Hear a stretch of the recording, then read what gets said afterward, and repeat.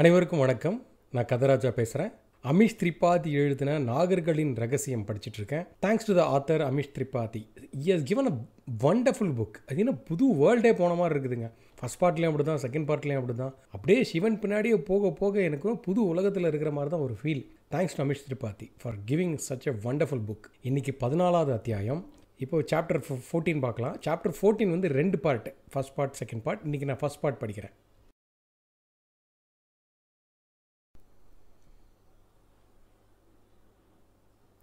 கப்பலில் பின்பாடி சிவன் பர்வதேஸ்வர் பகீரதன் திராபகு திவோதாஸ் உட்காந்துருக்குறாங்க ராத்திரி. நிலா வந்து அப்படியே மறைஞ்சிருக்கு. அந்த ராத்திரி ஃபுல்லாக அந்த இடம் பூரா ஒரு இருட்டாக இருக்குது. அப்பப்போ கிரிக் கிரிக் கிரிக் கிரிக் சத்தம் போட்ட பூச்சியை தவிர அந்த காட்டுக்குள்ளே ஒரே நிசப்தம்தான். அவங்க மாதிரி மெதுவாக பேசுகிறாங்க அவங்கள அறியாமலே ரொம்ப குரல்லாம் தாழ்த்தி பேசுகிறாங்க சிவன் வந்து பேசுகிறார் இப்போ என்ன பிரச்சனைன்னா நமக்குள்ளே பிரச்சனை. என்ன? நமக்குள்ளே கலகம் வரணும். நூறு பேர் மட்டும்தான் இருக்கும். நம்மோட மட்டும் போராடினா போதும்னு அவனுக்கு எப்படி நான் நம்ப வைக்கிறது?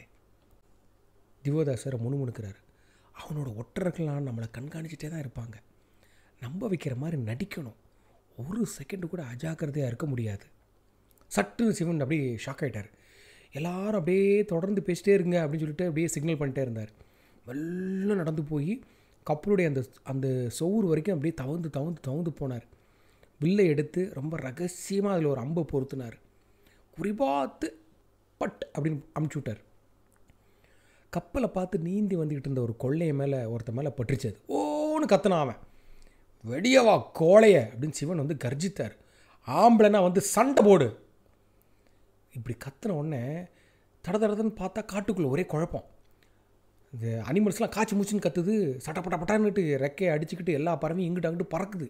நைட்டு. ஆனாலும் கழுத புலி ஒரு பக்கம் கத்துது புலிலாம் கர்ஜிக்குது மான்லாம் சத்தம் போடுது ஒரே அல்லோல கல்லோலம் நதியில் வந்து தண்ணி வந்து அலை பாஞ்சுது அடிப்பட்ட வீரனை யாரோ காப்பாற்ற ட்ரை பண்ணுற மாதிரி தெரியுது. எதுவோ மரத்து மரத்துக்குள்ளூடி வந்து பிடிச்சிக்கிட்டு போன மாதிரி சிவனுக்கு அப்படியே தோணுச்சு. பின்னாடி வந்தவங்கலாம் வந்துட்டு அப்படியே கிட்ட நிற்கிறாங்க சிவன்கிட்ட. சிவன் வந்து கிசு கிசுப்பாக சொல்கிறார் கொள்கிற எண்ணத்தோடு நான் வந்து அம்பையில் நமக்கு பரசுராமன் உயிரோடு வேணும்ப்பா ஞாபகம் வச்சுக்கோங்க. நம்ம வேலை கஷ்டம்னாலும் அவன் நமக்கு உயிரோடு வேணும். அப்போ திடீர்னு காட்டோட அமைதியை கீழ்ச்சிக்கிட்டு ஒரு சத்தம் ஒரு வாய்ஸ் முதுகெலும்பல்லாத கோழைய கப்பலை விட்டு வெளியே வர வேண்டியது தானே? ஆம்பளை சண்டை போட்டா எப்படி இருக்குன்னு நான் உனக்கு காமிக்கிறேன். ஒரு வாய்ஸு சிவன் ஆஹா! ஆட்டம் சுவாரஸ்யமாக இருக்கும் போல இருக்கே! அப்படின்னு ஸ்மைல் பண்ணார்.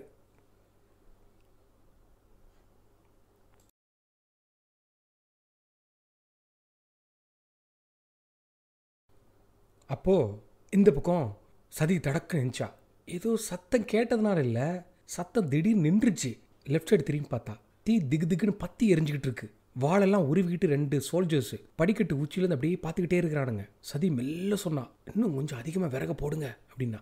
பக்கத்தில் உடனே ஒரு என்ன பண்ணா ஒரு வீரை பக்கத்தில் அடுக்கி இருந்த விறகு கட்டையிலேருந்து ஒரு சிலதை எடுத்துகிட்டு போய் படிக்கட்டு மத்தியில் எரிஞ்சிக்கிட்டு இருந்த அந்த எரியில தீல வந்து வீசினான் இந்த பக்கம் சதி வந்து அப்படியே அந்த அந்த சுத்து சோர் காம்பவுண்ட் வால் பக்கத்தில் அப்படி மெதுவாக எட்டி பார்த்தா. அடி எடுத்து பார்த்தா. ராத்திரி ஃபுல்லாக கத்திக்கிட்டு இருந்த ஆடு இப்போ கத்தவே இல்லை. ஜாக்கிரதையாக வெளில வெளியே எட்டி பார்த்தா. ராத்திரி வந்து அப்படியே ஃபுல்லாக டார்க்காக இருக்குது. சுற்றி ஒரே டார்க்கு ஆனாலும் அந்த ஸ்கூலில் வந்து எரியுதில்ல நெருப்பு. அதோட புண்ணியத்தில் அங்கிட்டு இங்கிட்டு கொஞ்சம் மலங்களாக வெளிச்சமாக இருக்குது. ஆடு இன்னும் இருக்குது ஆனால் அது நின்றுட்டுருக்கல பின்னங்கால் ஒடிஞ்சிருச்சு அதுக்கு. நிற்க முடியாமல் நடந்து அப்படி நடுங்கிட்டு இருக்குது அது. வந்துருச்சா தேவி? அப்படின்னு பக்கத்தில் காவாஸ் வந்து அப்படி தவந்து வந்து கேட்குறான் ஆமாம் வந்துருச்சு அப்படின்னு கிசு கிசுத்தா முல்ல ஆனால் பயங்கரமான ஒரு ஆழமான ஒரு உருமல் சத்தம் கேட்டுச்சு. காட்டில் எந்த பிராணியும் நடுகடுங்க வைக்கும் அந்த சத்தம்.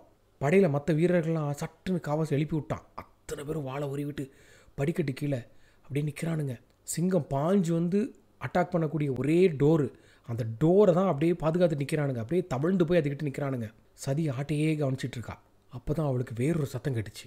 என்னமோ இழுத்துட்டு போகிற சத்தம். கண்ணை கசக்கிட்டு பார்த்தா ஒன்று ரெண்டு மூணு நாலு இல்லை கூட்டம் முழுசாவே இல்லை.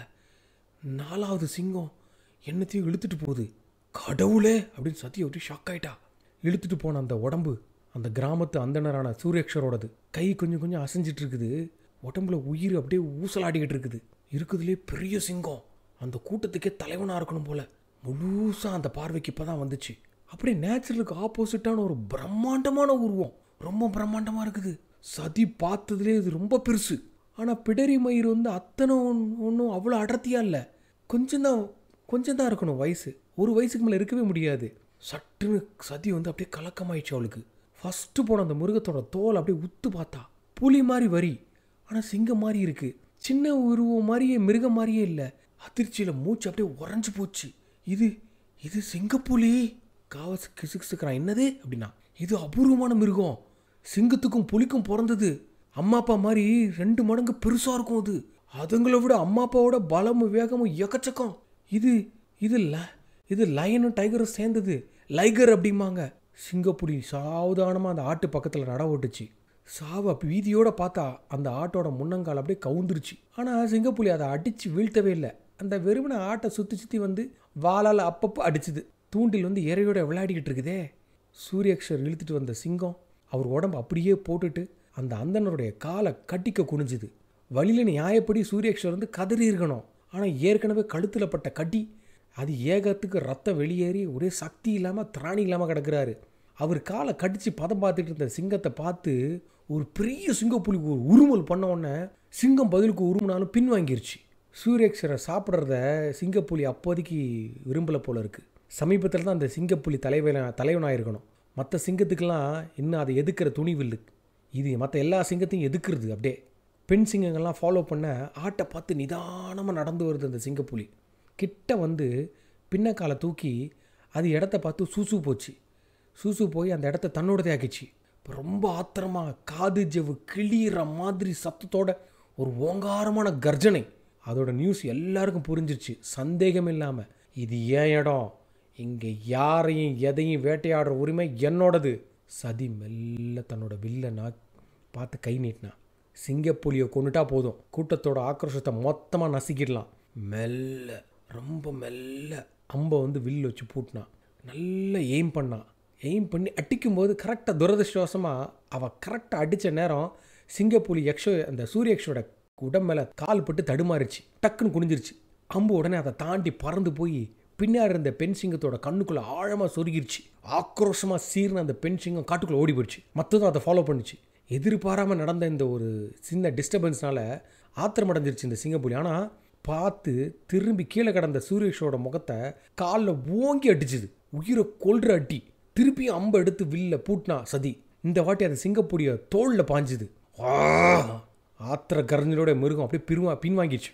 சதி சொல்கிறா பெண் சிங்கம் சீக்கிரம் சுத்துரும். கவ சொல்கிறான் இல்லை இல்லை ஆனால் அந்த சிங்கம் புலி திரும்ப வரும். திருப்பி வரும். முன்னை விட ஆவேசமாக நாளைக்கு இந்த கிராமத்தோட அட்டாக் பண்ண வரும். நாளைக்கு என்ன பண்ணலாம்? நம்ம கிராமத்தோட சேர்ந்து நம்மலாம் வெளியே போகிறது நல்லது. சதி அப்படியே தலையாசிச்சான். ஆமாம் அப்படின்ட்டு.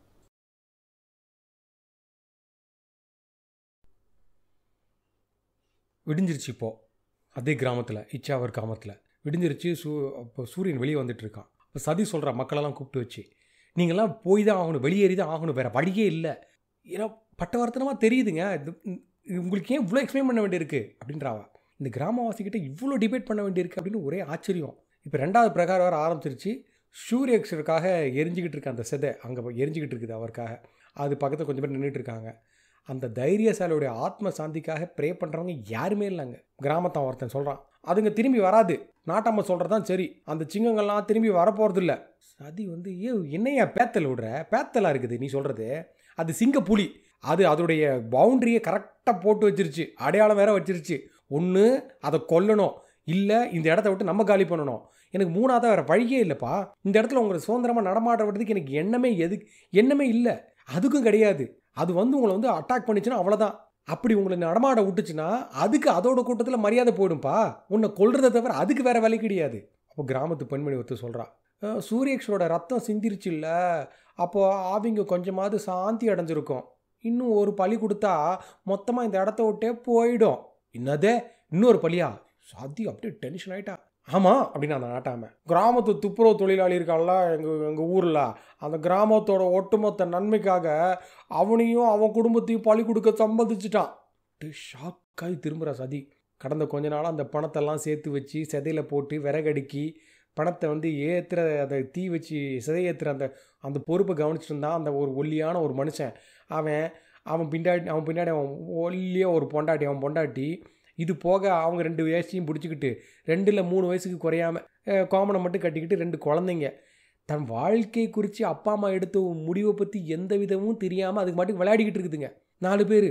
இவளுக்கு அப்படியே டென்ஷன் நாட்டமை பார்த்து திரும்பினா இருக்குதுலே பூச்சி மாதிரி இருக்கிறதுனால இந்த ஆளை வந்து நீங்கள் பழி கொடுக்கலாம் முடிவு பண்ணிட்டீங்களா? இது ரொம்ப தப்பு. அப்போ அவன் சொல்கிறான் இல்லைங்க தேவி அப்படியே அந்த ஆள் அந்த துப்புரவு பணியாளன். இது என் சொந்த முடிவுங்க. என் தலையெழுத்து போன ஜென்மத்தில் ஏதோ ஒரு வினையினால் இந்த ஜென்மத்தில் நான் கீழ்கூடத்தில் பிறந்துட்டேன். இந்த கிராமத்தோட நன்மைக்காக நானும் என் குடும்பத்தாரும் பழி கொடுக்கறதுக்கு முழுமையாக நாங்கள் சம்மதிக்கிறோம். கடவுள் எங்களுக்கு செய்கைக்கு மனம் இறங்கி அடுத்த வாட்டியாவது எங்களுக்கு ஒரு நல்ல பிறப்பை கொடுக்கணும். சதி சொல்கிறேன் உன் தைரியத்தை நான் பாராட்டுறேன். ஆனால் இதெல்லாம் சிங்கத்தை நிறுத்திடாது. ஒன்று நீங்கள் விரட்டப்படணும் இல்லை கொல்லப்படணும். அது வரைக்கும் அது ஓயாதுங்க. எங்கள் ரத்தம் அதுங்களோட கொலவெறியை அடைக்கணும் தேவி. நாட்டம் அப்படித்தான் சொன்னார். எனக்கு நம்பிக்கை இருக்குது அப்படின்னா அந்த துப்புரவு பணியாளர். சதி வந்து அந்த அந்த ஆளையை வெறிச்சு பார்த்தா. இந்த தீர்க்க சிந்தனை இந்த குருட்டு நம்பிக்கையை வந்து இவ திங்க் பண்ணுறது எல்லாமே இவங்களோட குருட்டு நம்பிக்கை ஜெயிக்க முடியாது. ம்? குனிஞ்ச அந்த குழந்தைகளே பார்த்தா. அது ஒன்று ஒன்று சீண்டிக்கிட்டு குதூலமாக விளையாடிக்கிட்டு இருக்குதுங்க. சட்டுன்னு அதுக்கு நிப்பாட்டிட்டு யாரோ இது மூணாவது ஆள் நம்மளே வேடிக்கை பார்க்குறாள் அப்படின்னு நிமிந்து வேற பார்த்துச்சுங்க. இவன் நம்மளை வெறிச்சு பார்க்குறா அப்படின்னு பார்க்குதுங்க. சதி அப்படி யோசிக்கிறான். நான் இதை ஒரு டைம் ஒரு நாள் கூட பர்மிட் பண்ண மாட்டேன். சரி ஒன்று பண்ணலாம். நான் இங்கே இருக்கேன். கடைசி சிங்கம் செத்து போகிற வரைக்கும் நான் போக மாட்டேன். ஆனால் நீங்களோ உங்கள் குடும்பமோ உங்களை பழி கொடுத்துக்கூடாது சரியா? இது என்னடா வித்தியாசமாக இருக்குது இப்போ சொல்கிறது நம்புறதா வேணாமா அப்படின்னு குழப்பத்தோடு அந்த ஆள் சதியவே பார்த்தான். அவள் காவஸை பார்த்தா. காவஸ் உடனே சோல்ஜர்ஸை வந்து அவன் ஸ்கூலை பார்த்து கிளம்பு கிளம்பு அப்படின்ட்டான். இன்னும் சில பேர் இந்த இது என்னடா அது அதிசயமாக மாற்றமாக இருக்குது அப்படின்னு சந்தோஷப்பட்டுக்கிட்டு டிஸ்கஸ் பண்ணிட்டு வீட்டுக்கு போகிறாங்க எல்லாருமே. இதை நான் ஒரு வழி பண்ணாமல் விடுறதில்ல அப்படின்னு சொல்லி முடிவு பண்ணிட்டான்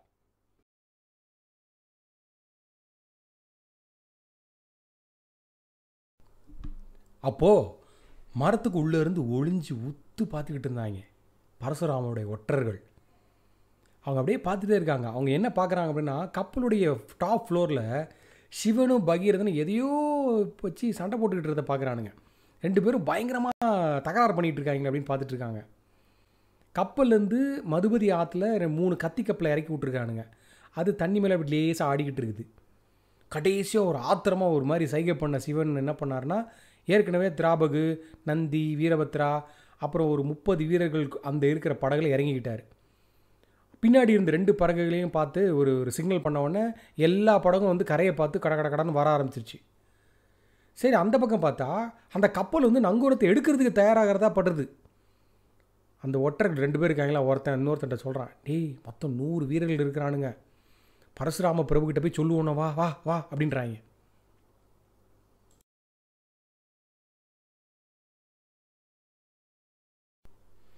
இதோட பதினாலாவது சாப்டருடைய ஃபஸ்ட் பார்ட் நிறைவு பெறுது. திரும்ப நான் வந்து நாளைக்கு செகண்ட் பார்ட்டோட உங்களை வந்து பார்க்குறேன். அது வரைக்கும் உங்கள்கிட்ட இருந்து விடைபெறுவது கதைராஜா வணக்கம்.